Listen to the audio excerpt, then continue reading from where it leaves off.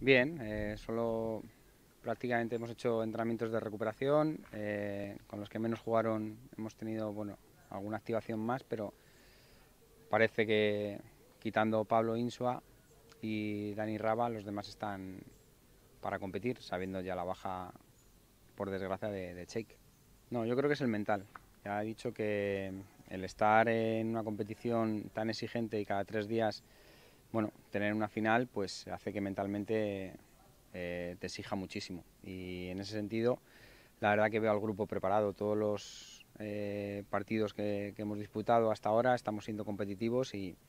hay que seguir por el mismo camino, sabiendo que, que, bueno, que puede haber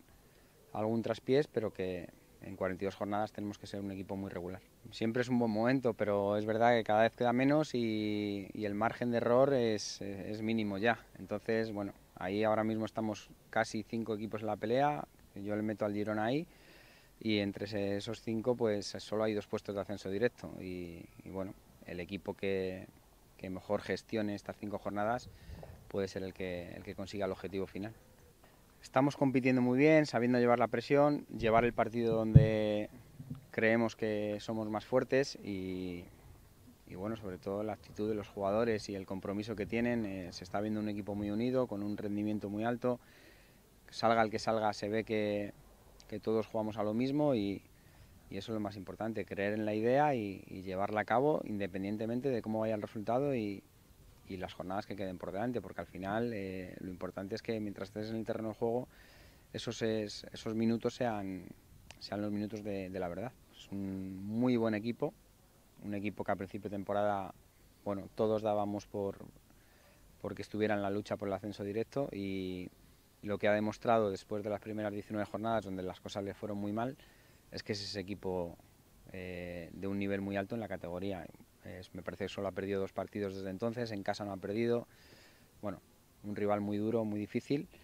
pero que tenemos que ir con nuestras armas, con toda la ilusión del mundo, con toda la humildad del mundo. Es un, es un grande, el Depor es un grande, pero nosotros vamos con nuestra humildad, con nuestras ganas y nuestra ilusión para intentar hacer un buen partido y conseguir los tres puntos. Bueno, eh, es un equipo que ha cambiado el sistema varias veces, que también durante el partido te cambia la forma de jugar entender, entender todo lo que nos puede ocurrir en el terreno de juego. Esos momentos eh, de cambio del deporte, de que sean más, eh, con, más presión, con más presión arriba, que sea un equipo que, juegue con cinco atrás, que juegue con tres, que juegue con cuatro. Es un equipo que, que bueno, ha cambiado mucho con respecto a... Eh, o sea, en, dependiendo del marcador y dependiendo de, la situación de juego y en todos esos en esas características que nos pueden marcar ellos, tenemos que, saber adaptarnos y, competir eh, con nuestras armas. Y bueno, por ahí va a estar. Si somos capaces de tener el balón, tendremos mucho ganado, aunque sabemos que el Depor es un equipo que por momentos te lo puede quitar. Sí, pero bueno, como no le podemos poner remedio, hay que luchar con lo que tenemos. Eh, confío mucho en, la plantilla, eh, es una baja importantísima por, lo que hablábamos, por, el, eh, pues lo humanamente como, como, ha estado aquí Cheik, pues es un jugador muy muy querido por todos y es una pena que, que no nos pueda ayudar en estas cinco jornadas y que, que, tenga una lesión tan, tan importante. Pero bueno, por él tendremos que hacer el esfuerzo, el paso que adelante que había dado él durante este tiempo aquí en, en Huesca, lo tenemos que, eh, bueno, entre todos, superar ese bache y, y sobre todo hacernos, hacernos fuertes por él, porque sería un, bueno, sería precioso poder dedicarle el objetivo del ascenso.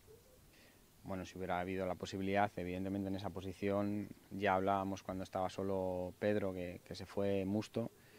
que necesitábamos un jugador eh, que venga, el que, estuviera Cheik al 100% era lo más importante cuando él ha estado, pues eh, teníamos eh, muchas alternativas y ahora la falta de Cheik se nota, pero bueno,